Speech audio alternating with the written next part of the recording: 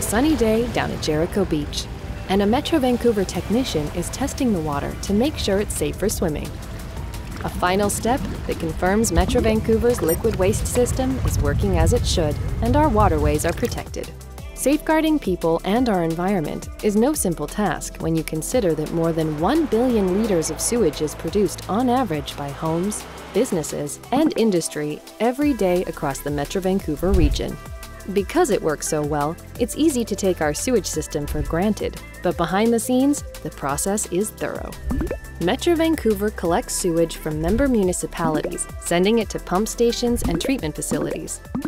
In primary treatment, materials that either float or settle in the wastewater are removed, while secondary treatment uses bacteria to non-chemically process at least 95% of the remaining pee and poo.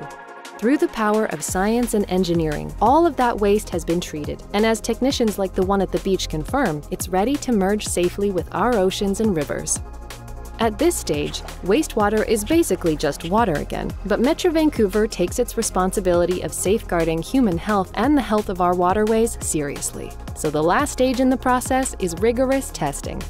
Water is inspected before it leaves the facility and then again at locations where water is released seasonal monitoring of the recreational areas like beaches further ensures public safety. Metro Vancouver's five wastewater treatment facilities are constantly being upgraded to handle population growth and prepare for earthquakes, realities of living in this part of the world.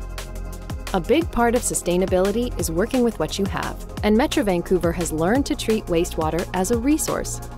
Four of the treatment plants use it to generate heat, electricity, or renewable gas. A new project will convert waste into transportation fuel, turning muck into magic. Like all Metro Vancouver services, liquid waste is really a collaborative effort. Public awareness campaigns encourage residents to keep the system free of harmful materials like disposable wipes, paper towels, and grease.